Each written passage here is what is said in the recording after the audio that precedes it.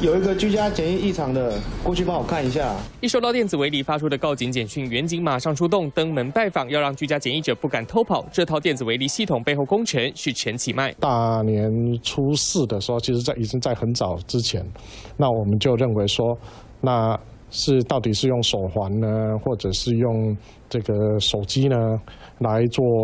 啊，这个追踪的这个工具，电子围篱成功阻挡疫情扩散。现在包括美国、澳洲、欧盟、东协的印尼、越南，还有中东沙地阿拉伯，至少十个国家都来洽谈，希望我国转移技术。立委忧心怕侵犯隐私，政院强调用的是不同技术。我没有用任何的 GPS 定位。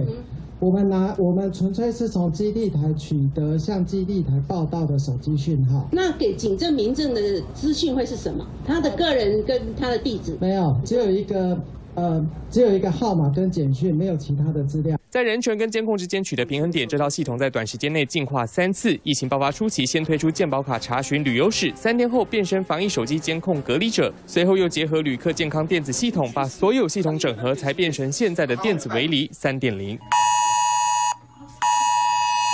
电子围篱不仅避免居家检疫者偷溜，大范围发出的细胞简讯警告，要民众避开疫情热点，也是电子围篱的一环。台湾善用科技，在防疫工作上，点子被全世界看见，也做出巨大贡献。三十五黄金的谢梦哲台北报道。